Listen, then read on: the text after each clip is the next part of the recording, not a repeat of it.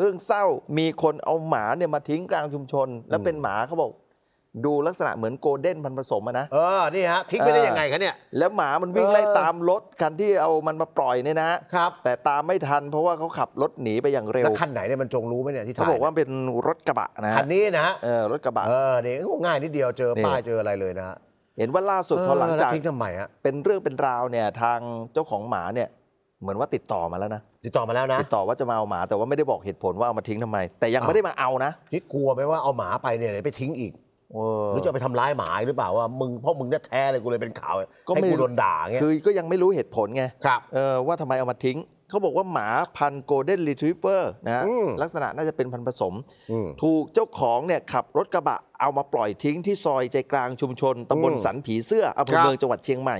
จากนั้นคนขับรถก็ขับหนีหมา หมาก็วิ่งไล่ตามรถนะครับ มันมีภาพกล้องวงจรปิดก็จับภาพโอ้อายุนะสี่ห้าปีกำลังน่ารักเลยเนี่ยออเนี่ยเมื่อวานตอนเช้าเลยนะครับ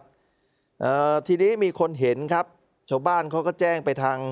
นายกเอ่อทางเทศบาล ทางรองนายกเทศมนตรีนะฮะได้รับแจ้งก็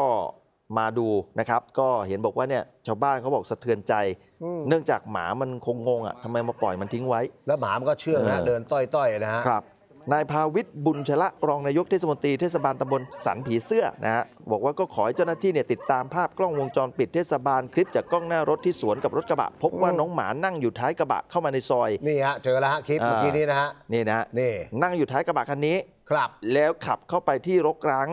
อยู่ด้านหน้าเทศบาลสันผีเสื้ออืมชาวบ้านเล่าให้ฟังบอกมีชายสูงวัยลงมาเปิดท้ายกระบะ และไม่ใช่ปล่อยหมา ไม่ใช่หมากระโดดเองนะ มีคนลงมาจากรถแล้วก็เปิดท้ายรถ เออ แล้วก็ปล่อยให้หมาลงจากรถเออ นี่ฮะ อ่าให้หมาลงจากรถเสร็จปุ๊บก็ขับรถไปเลยนะครับ ครับ คือตั้งใจมาปล่อยเลยนะอืม ทางเทศบาลก็เลยเอาข้าวเอาน้ำให้มันกินก่อน มันก็ไม่ยอมกินนะมันนั่งรอเจ้าของ เขาบอกมันน้ำตาไหลด้วยพี่เต่งเออหมาน้ำตาไหลนะเออดูสิฮะเหมือนว่าเนี่ยเศร้าใจที่ว่าเจ้าของทิ้งมันอย่างเงี้ยเหมือนมันรู้นะ เออเออเนี่ยเนี่ยกินไม่เอาอะไรมาให้กินไม่ยอมกินนะเหมือนตรอมใจอะเออ ทีนี้เนี่ยนะครับมีคนที่เห็นเหตุการณ์นะแม่ค้าขายขนมจีนแถวนั้นนะคุณสุภาวดีเอ่อก็เล่าเหตุการณ์ให้ฟังหน่อยนะครับเชิญครับ มันก็ขี่รถเข้าไปทางในนี่มันก็ ไปถึงก็มันก็เอาหมาลงลงแล้วมันก็ขี่รถเข้าไปทางในนี่มันก็ ไปถึงก็มันก็เอาหมาลงลงแล้วมันก็ขี่รถไปแล้วหมาเนี่ยก็โล่นตะโกนไปอีกอะล่นไปไก่ก็เจาะเนี่ยออกออกไปโดยก้นรถมันก็รถขึ้นไปทางนี้เนาะแล้วหมามันก็ไปไม่ไหวแล้วมันก็โล่นเข้าในสวนนี่แล้วน้องนะครับไปไปไปจับเอามาอะ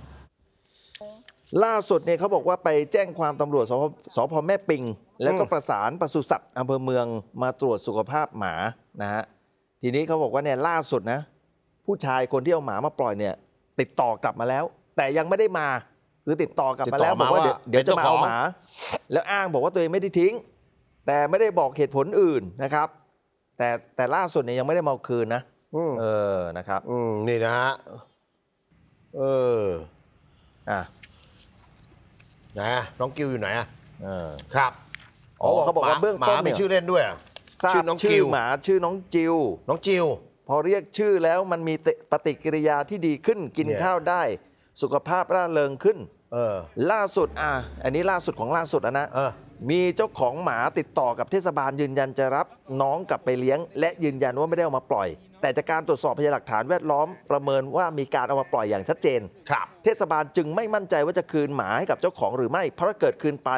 กลัวว่าเดี๋ยวจะไปปล่อยที่อื่นอีกนี่ฮะ เออเพราะฉะนั้นเขาก็เลยประสานทางมูลนิธิที่เกี่ยวข้องกับการดูแลสัตว์ เพื่อจะดำเนินการกันต่อไป เออ คือคงจะไม่คืนแล้วล่ะทั้งนั้นอะ เออเพราะถ้าเกิดคืนไปก็กลัวเดี๋เดี๋ยยววก็ไปโดนปปล่ล่ออยยอีอีกกแล้วบางทีนะไอ้พวกชอบทิ้งหมาทิ้งแมวตัวน่ารักน่ารักเนี่ยนะครับแต่ว่าทิ้งตอนมันเป็นโรคภัยไข้เจ็บเนี่ยมันจง มันใกล้จะตายแล้วอย่างเงี้ยทิ้งเป็นภาระอะไรเงี้ยเป็นภาระให้รักษาแพงอืมอย่างบ้านผมเนี่ยมันทิ้งแมวเปอร์เซีย ผมเอาไปรักษา 3 วันโดนไปอ่วมเลยแล้วแมวก็ตายโอ้เออทิ้งอย่างเงี้ยคือเวลาเอาเข้ามาเนี่ยมันก็ต้องดูว่าตัวเองเนี่ย มีกำลังพอที่จะเลี้ยงเขาไหมครับ จะดูแลเขาได้ไหมเพราะว่าบางคนเลี้ยงหมาบางคนก็รักเหมือนลูก อืมบางคนรักยิ่งกว่าลูกก็มี แต่บางคนเนี่ยรักตอนมันน่ารักไงเออพอตอนมันแก่ไปแล้วพอมันเจ็บไข้ได้ป่วย มันก็เออต้องได้รับการการได้รับการดูแลเอาใจใส่เนี่ยไม่สนใจอย่างเงี้ยก็ไปทิ้งอย่างเงี้ยครับ ไม่ได้ว่าเคสนี้แต่ว่าเท่าที่ผ่านมาผมเห็นเป็นอย่างนี้ แต่เคสนี้เขายังไม่ได้บอกว่าทิ้งทำไมก็นั่นน่ะสิ เออนี่นะฮะ